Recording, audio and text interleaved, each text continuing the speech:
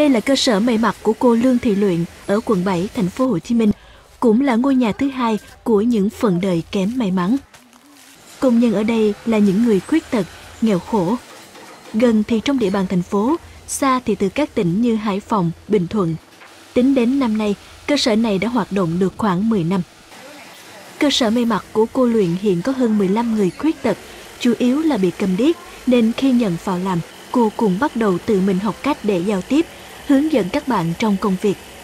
Phần lớn, các bạn đều rất chịu khó học hỏi, nên có thể tự lo cho cuộc sống của bản thân mà không phải phụ thuộc vào gia đình.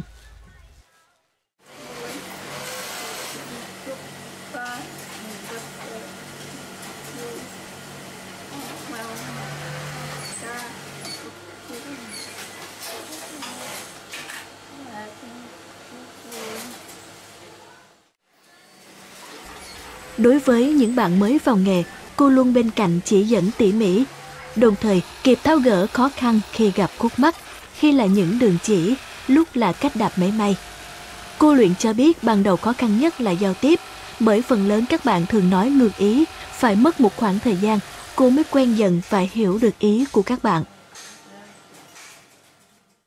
Nói chung là không, các cháu thì cũng nhiều, mà là các cháu cũng nhìn sắc mặt mình ví dụ là vui hoặc là đồng ý thì là các cháu biết. Ờ, chưa vừa ý là các cháu cũng biết. Thì các cháu cũng cố gắng các cháu sửa để các cháu làm một tốt. Ừ, học hỏi cái, những cái ký hiệu của những người khuyết tật. Như là trên, chương trình VTV2 gần 10 rưỡi thầy cũng dạy. Thì mình cũng học cái này học từ các cháu, để giao tiếp với các cháu. Ý thức được khó khăn của mình các bạn rất chăm chỉ học nghề những sản phẩm làm ra ngày càng tốt hơn và đáp ứng được nhu cầu của thị trường. Đó cũng chính là sự an ủi, động viên để cô luyện tiếp tục công việc tình nghĩa này. Bạn Lê Thị Ánh Nguyệt ở huyện Nhà Bè là một trong những người khuyết tật gắn bó với cô luyện từ những ngày đầu tiên. Nguyệt bị nhiễm chất độc da cam nên mất đi khả năng ngôn ngữ. Những ngày đầu đến với cơ sở, Nguyệt không biết gì, nhưng nhờ sự hướng dẫn tận tình của cô luyện cùng với khả năng tiếp thu nhanh của mình, hiện tại những sản phẩm của bạn đã được thị trường đón nhận. Không chỉ có người khuyết tật, những người có hoàn cảnh khó khăn như chị Mai Thị Lan, quê ở Nha Trang cũng xem đây như là ngôi nhà thứ hai của mình. Chị Lan chính là người gắn bó với cơ sở ngay từ đầu thành lập.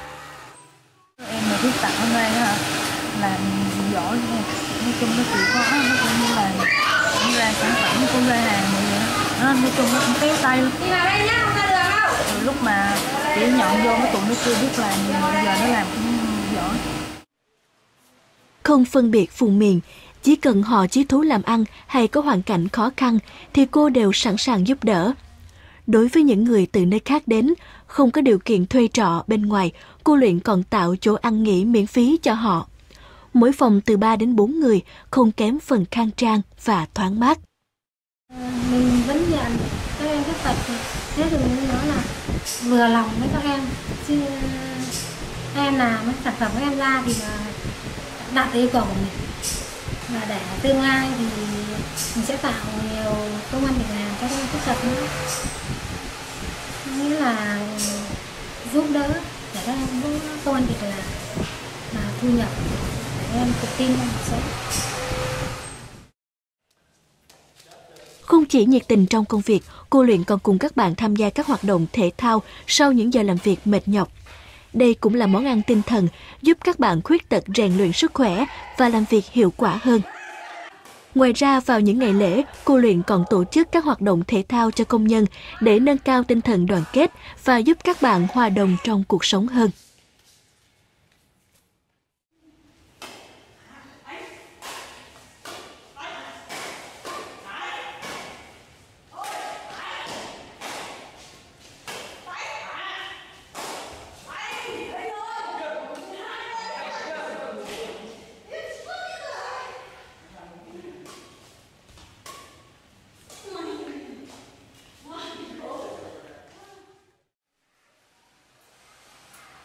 Hiện nay, cơ sở may của cô luyện chuyên sản xuất quần áo dành cho người lớn và trẻ em. những sản phẩm của người khuyết tật này không những tiêu thụ trong nước mà còn được xuất sang cả Đông Âu và châu Phi. Và cứ thế bao năm qua, nơi đây đã trở thành một đại gia đình, là điểm dừng chân của những người khuyết tật và có hoàn cảnh khó khăn.